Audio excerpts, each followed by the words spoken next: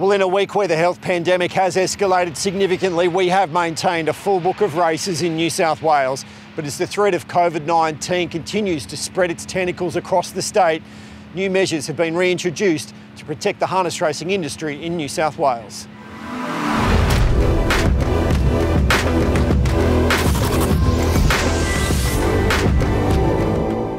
Hello and welcome to another edition of the Sprint Lane. This week brought to you by Trump Bloodstock, who this breeding season will be standing Propulsion, Sebastian K and Pet Rock, of course supported by Harness Racing New South Wales and our Stallion Incentive Scheme. Now some news in case you missed it yesterday. It's a proactive return to regional racing, of course, as a result of the health pandemic. Now that comes into play next Wednesday, that's August 18. Now it also will have an impact on the Breeders' Challenge Series where the state will be divided into regions, a lot like what we did with the TAB Regional Championship Series. So if you need more information, it's on our website, but please be assured decisions like these aren't made lightly. It's for the best interests of the industry going forward.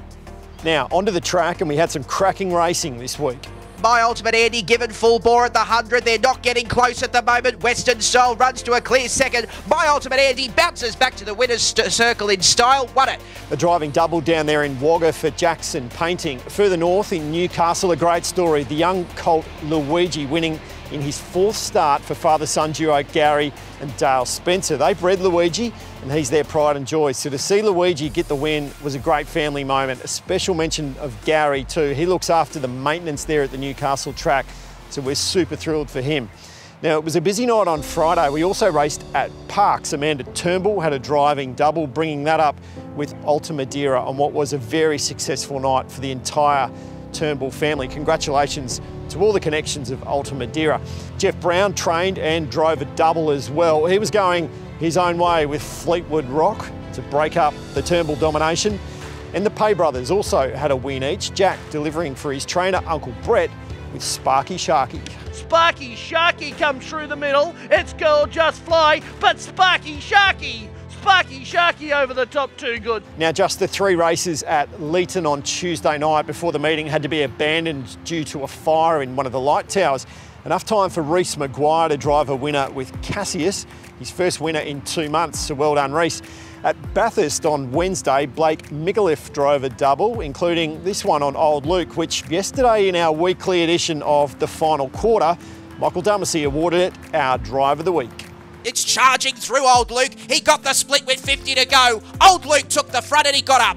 Now, you may remember last week we congratulated Jack Callaghan for bringing up his 200th winner with Walk a Mile in My Shoes. Well, he franked that by making it back to back wins at Penrith last night.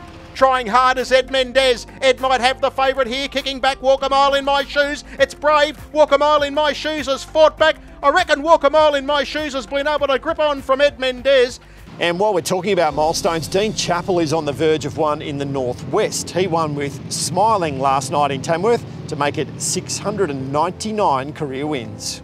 Smiling in front, Comanche going to launch. Too late, brother. Smiling gets the cash. Some great performances at Menangle over the past week. Leighton Green drove a double for Dean and Kerry McDowell. This one, Major Obama.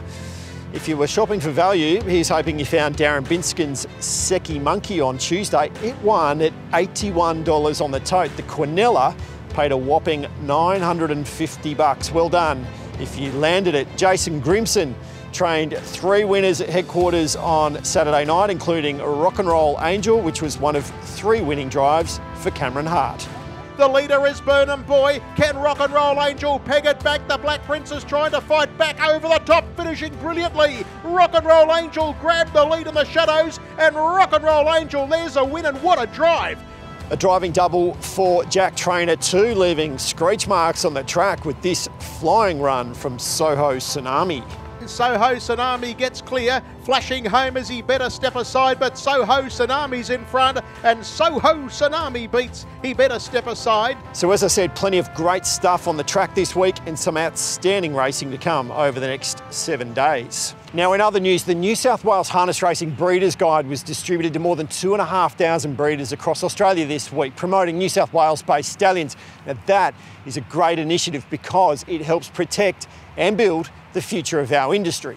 And I close this week with some sad news, unfortunately, the passing of Western Districts legend Ron Jones. Now, he was the president of Trundle and a delegate to the Western Districts Association as well as a harness racing authority steward. So our sympathies extend to Ron's family.